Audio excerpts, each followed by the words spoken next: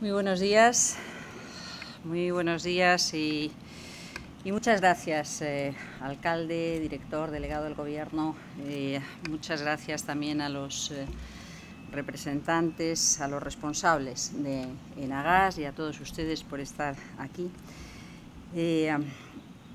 Por, por, una ocasión extraordinaria para poder conocer de cerca qué es lo que representa sobre el terreno trabajar para una Europa más conectada, para una Europa más solidaria, para un trabajo en el que todos podemos aportar cuando alguien lo pasa mal.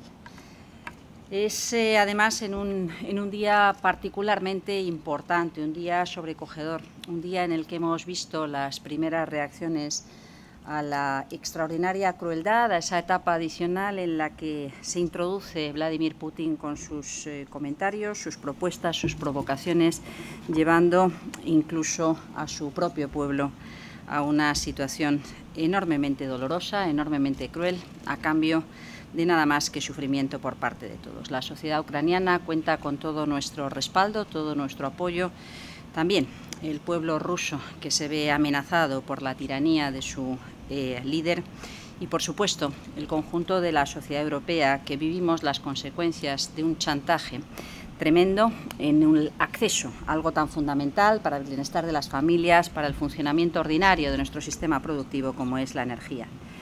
Y en ese contexto es eh, clave mantenernos unidos, trabajar juntos y hacerlo buscando la máxima solidaridad entre los distintos estados y sociedades europeas, buscando la flexibilidad para que cada cual podamos aportar a ese objetivo común de restar, de mantenernos unidos, rompiendo la dependencia de un autócrata como Putin, la dependencia energética tan alta, casi el 40% hace apenas año y medio y tan eh, disminuida con respecto al flujo de gas eh, procedente de Rusia que llega a Europa, que en septiembre estaba ligeramente por encima del 10%. Pasar del 40 al 10 en año y medio ha sido extraordinariamente complejo, pero también nos da una señal clara de lo que debemos hacer. Reducir nuestra dependencia, buscar alternativas, fortalecer nuestra capacidad autóctona de utilizar recursos también el entender hasta qué punto la diversificación de aquellos recursos que hoy necesitamos, la apuesta por la inversión en la maximización del uso de nuestras infraestructuras es clave. A las puertas de un invierno que puede ser complicado en muchos sitios de Europa, es capital llegar a acuerdos el próximo 30 de septiembre, en el que celebraremos una reunión extraordinaria adicional del Consejo de Energía con la intención de seguir fortaleciendo esa respuesta unida dedicados en esta ocasión en particular a la electricidad, completando el paquete de gas que se incluía en las respuestas del pasado mes de julio, buscando en cómo avanzar en esa respuesta unánime. España es sin duda un país con una vocación clara de transformación de nuestro sistema energético y aprovechamiento de nuestros recursos propios. Somos una potencia eólica, una potencia solar y hemos hecho del sol y del viento un factor fundamental de innovación, de empleo, de industria, de nuevos servicios. Ayer mismo teníamos eh, un dato enormemente importante. Una de cada cinco, uno de cada cinco proyectos de hidrógeno financiados por la Unión Europea tiene su lugar de ubicación en España, en el territorio peninsular. Pero esto no basta. Una cosa es reforzar y acelerar la transformación de nuestro sistema energético, otra cosa es dar respuesta rápida en una situación de emergencia como esta. Y tanto en el corto plazo como en el medio y en el largo, la puesta en común de nuestras infraestructuras y las interconexiones con los países vecinos resulta clave, resulta determinante. Sabemos que en esta necesidad de reforzar las interconexiones, la prioridad otorgada a la electricidad con los proyectos existentes debe ser completada con la maximización de las infraestructuras de transporte de gas que ya existen entre España y Francia. Dos gasoductos que con estas instalaciones nos permiten incrementar de forma importante la capacidad de envío de gas desde el sur de Europa, España, hacia el norte, a través de Francia. Cabe destacar que en esa vocación de aprovechamiento de las infraestructuras hemos eh, decidido incorporar medidas extraordinarias, no solamente en el reforzamiento con la puesta en funcionamiento de este compresor adicional en esta instalación, en esta conexión entre Irún y Endaya, sino otras decisiones que nos permiten jugar un papel logístico importante, como son las que ofrece la regasificadora del Musel, que tuve ocasión de visitar hace pocas, pocos meses, pocas semanas y que estará plenamente operativa a principios de año, precisamente para facilitar un apoyo fundamental que dará flexibilidad también al sistema europeo.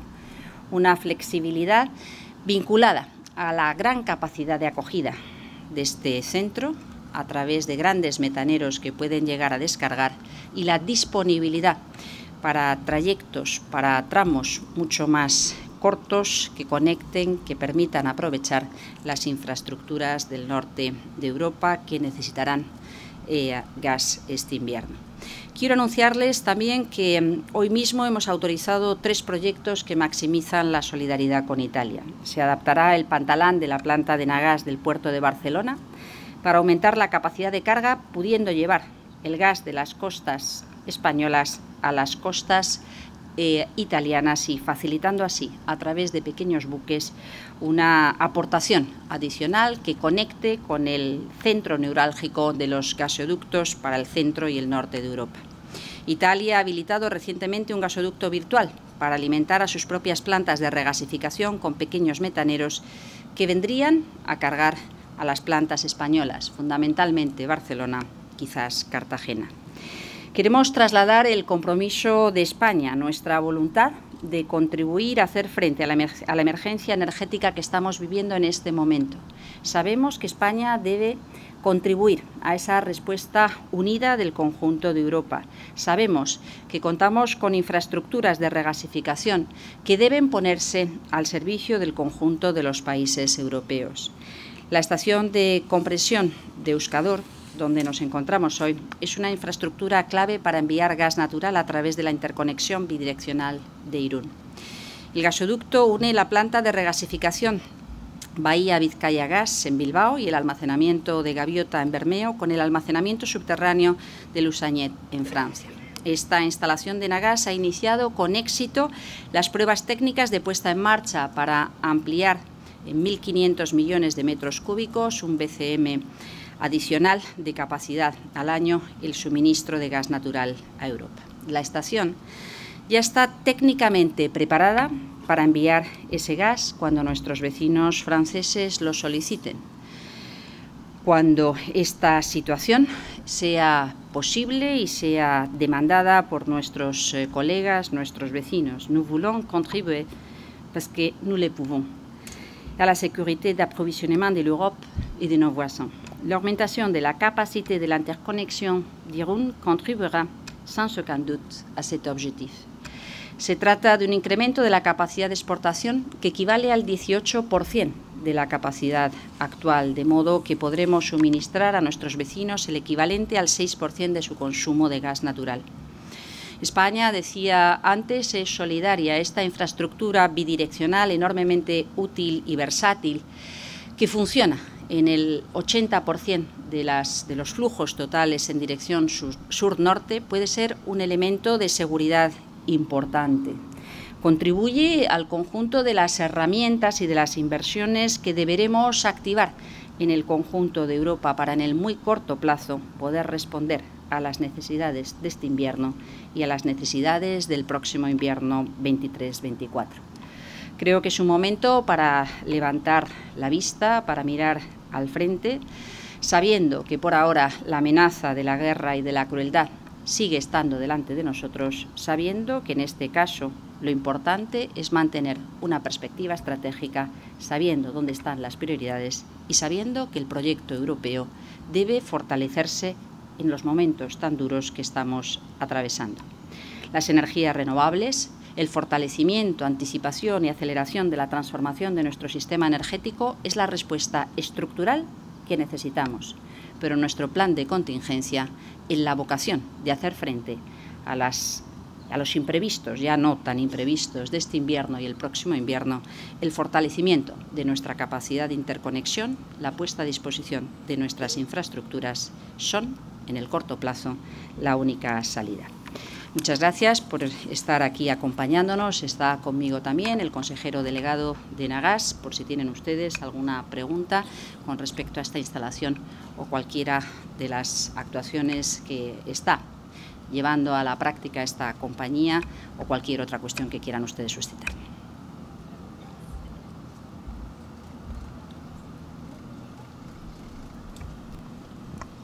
Sí, hola ministra. Eh, Marta, para Informativos Telecinco. Eh, ministra, ¿qué papel juega España en este intento de soberanía energética a nivel europeo? España yo creo que se ha convertido en un país clave en este momento crítico para Europa y su situación energética. Cuenta con una seguridad de suministro y una fortaleza muy importante tanto en, en la capacidad de aprovisionamiento de gas y regasificación, mucho más versátil y flexible gracias a esas seis plantas de regasificación y al potencial papel adicional que puede desempeñar el Musel como planta logística. Y es importante también por la capacidad y la aceleración de la transformación de nuestro sistema energético con un nivel de penetración clave de las energías renovables y una tendencia al crecimiento importantísima que se manifiesta en las cifras acumuladas de 2018 a la actualidad, pero también en el hecho de que nuestra industria, nuestros sectores de investigación y desarrollo tecnológico están estando muy presentes en las iniciativas punteras, en las más rompedoras, las más novedoras, como es la producción o el uso mm, del hidrógeno para determinados consumos finales de, de energía ese papel que es muy importante y que nos permite ahondar en la senda de transformación de nuestro sistema energético es también clave desde el punto de vista de apoyo al conjunto del sistema europeo. Por tanto, lo que tenemos que hacer, creemos que es nuestra obligación, cuando alguien necesita ayuda es importante responder positivamente, es contribuir no solamente al debate estratégico y regulatorio, como lo estamos haciendo, sino también desde el punto de vista físico, con el apoyo sustancial de algo tan fundamental en este momento como es como es el gas.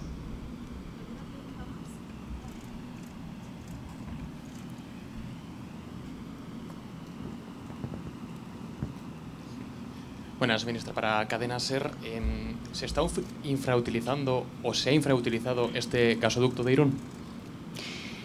En general, eh, podría responderse a esa pregunta diciendo que, hasta que nos ha estallado este conflicto delante de los ojos eh, ha sido una interconexión enormemente importante, pero efectivamente utilizada a demanda. Es decir, no había una necesidad tan relevante como puede haber en este momento de fortalecer ese intercambio de flujos de gas en un sentido o en otro. Nos daba comodidad, nos daba confort, ofrecía flexibilidad tanto para el lado francés como para el lado español. Francia tiene unas características de su sistema de distribución y transporte de gas distintas a las del sistema español, pero no mm, resultaba tan crítico como sí puede serlo en este, en este momento. Y eso explica también por qué se ha incrementado de forma muy importante eh, la utilización tanto de este gasoducto como, como el de la interconexión en Navarra.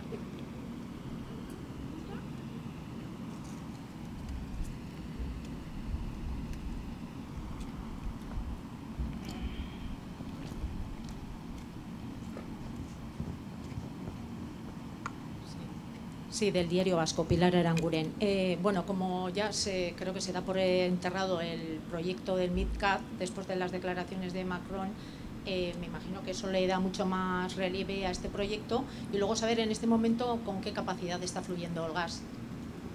Pues muchas gracias por esa pregunta. Yo, yo, creo que es prematuro dar por enterrado nada. Estamos hablando de un corredor de hidrógeno. Es obvio que la la intención, lo que nosotros creemos que es más razonable, es eh, maximizar eh, el aprovechamiento de las infraestructuras que existen, por ejemplo, de este, de este gasoducto, de esta capacidad de interconexión a través de una tubería que ya existe.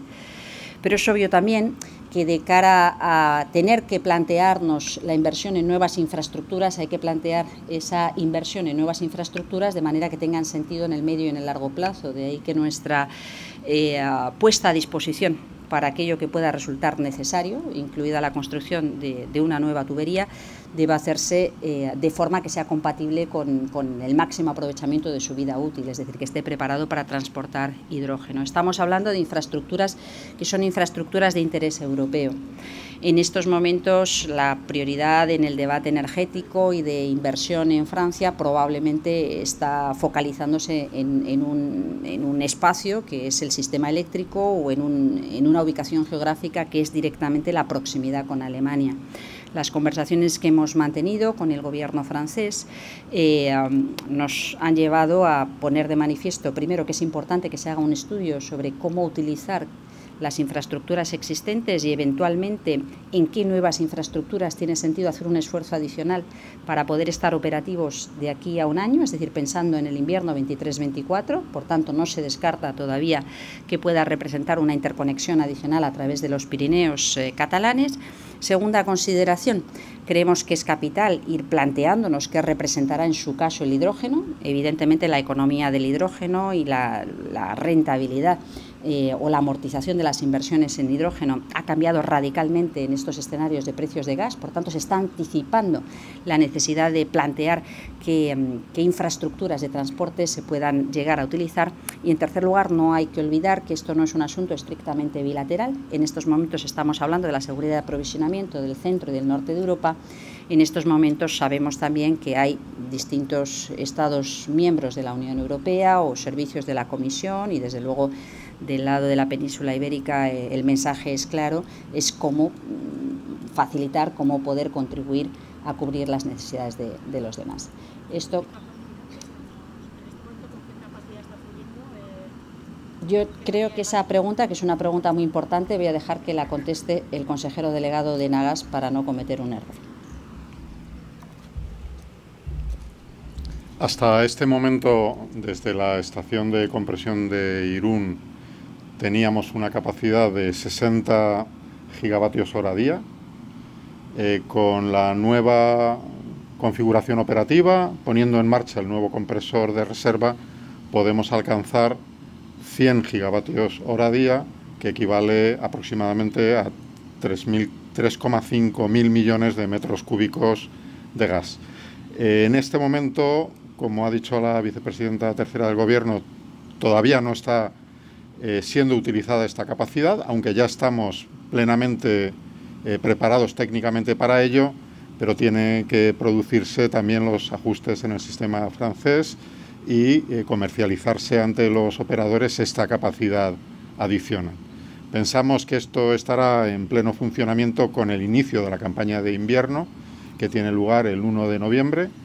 En este momento estamos en un momento en el que ya se ha completado la inyección en los almacenamientos subterráneos, aún no ha comenzado la inyección, perdón, la extracción y por tanto tenemos ante nosotros el mes de octubre para eh, comercializar ante los operadores esta capacidad adicional, pero como hemos dicho, está técnicamente ya perfectamente preparada para entrar en funcionamiento.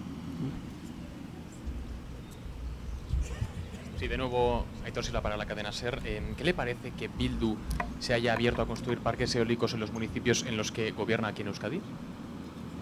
Yo creo que es una buena noticia el que la sociedad y las distintas formaciones eh, políticas eh, entiendan por qué es importante el despliegue de las energías renovables, con las cautelas ambientales, con la participación social, con eh, la mejora de las condiciones de los términos municipales donde se ubican estas instalaciones.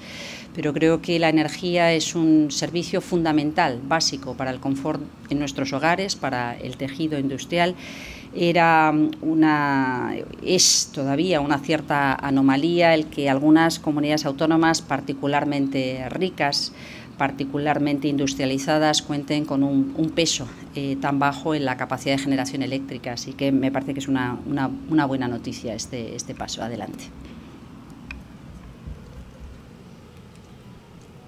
Muy bien. Pues muchísimas, muchísimas gracias a todos. Ah, hay una última pregunta, sí, no, no. Sobre, sobre otro tema, y que a mí me gustaría saber también, bueno, cómo, si, si hay algún avance en las... Ah, perdona, soy usada para Televisión Española. si hay algún avance para eh, las, eh, en el tema de las medidas para las comunidades de vecinos que tienen calefacción central que no, que no han entrado en, en la rebaja del IVA anunciado.